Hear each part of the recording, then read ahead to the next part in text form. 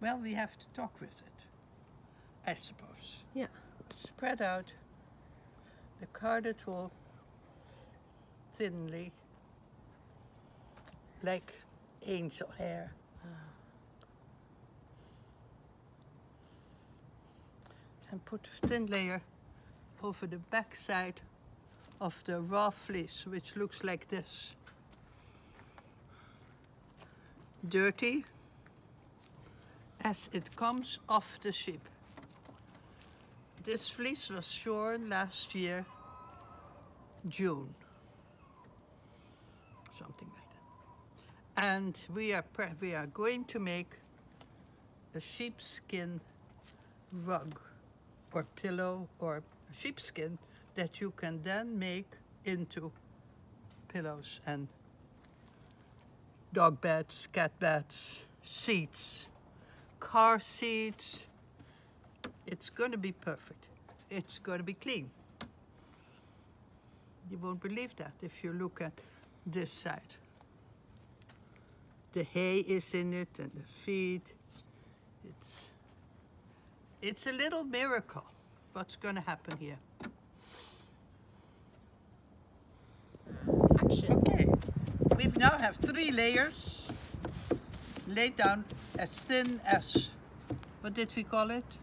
Um, angel's hair. Angel hair. Over here, we are doing it a little bit thicker. So when it is all done, we can see the difference between angel hair and snow. Poof. Underneath here, I have bubble stuff and and a, a steak massager. And I'm trying to make my angel hair connect uh, or felt with the shorn part of of the fleece, which is still dirty. I showed you that before. It's still here, but we're trying to make everything connect. And then this is soapy water, Ajax professional sprayer, and so I'm trying to get it to felt deep. Deep felting, it is called. Here, pop, pop, pop from the underlayer. That's very deep. Poof. So we do this half leaves this way, then we'll massage it, and massage it, and roll it, and massage it, and roll it, and massage it, and wash it. But we'll show you that later. We'll just show you this so you get the feeling for the beginning. Now rolled up all these pieces. This was now the whole fleece.